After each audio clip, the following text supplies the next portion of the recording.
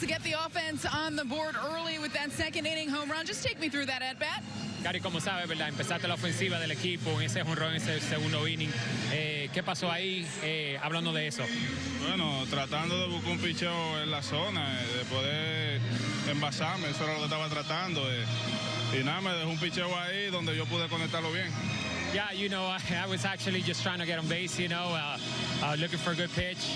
Uh, he left one there for me, and I was able to connect there. Did Chad Green look much more like his old self tonight? What were you seeing from your vantage point? ¿Viste el viejo Chad Green hoy? Eh, desde tu punto de vista, ¿cómo lo viste esta noche? Bueno, yo lo vi bien, eh, él siempre ha hecho buen trabajo ahí en el bullpen, eh, uno de los, de los pitchers de nosotros ahí en el bullpen. Lo vi bien, atacando la zona, eh, la curva estaba muy bien y todo está funcionando bien. Yeah, he looked really, really good tonight. Uh, as you know, Chad Green is a big, big part, uh, big part of the bullpen for us, and uh, he looked uh, great tonight. His curveball was really good, and uh, along with with uh, his fastball, looked sharp. It's been a while since we've seen that Chapman stare down at the end of the game. Did it seem like he was pitching with more confidence tonight?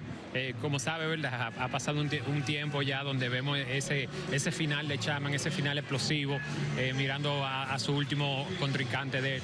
Eh, lo viste más explosivo esta noche, lo viste más, más eh, tal vez más eh, eh, eficaz. Bueno, yo lo vi bien, es normal. Al mismo Chapman que estoy, sabe, acostumbrado a, a ver siempre, todos, los- todos los años. eh, hay veces que uno no, no, no le sale la cosa como uno quiere, pero yo vi el mismo Chapman, eh, nosotros confiamos en Chapman y, y hizo tremendo trabajo. ahí.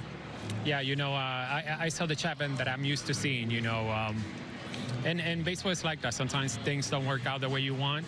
But he was really good tonight, did an amazing job for us, and was able to close the game for us tonight. Gary, Marlon, thanks for the time.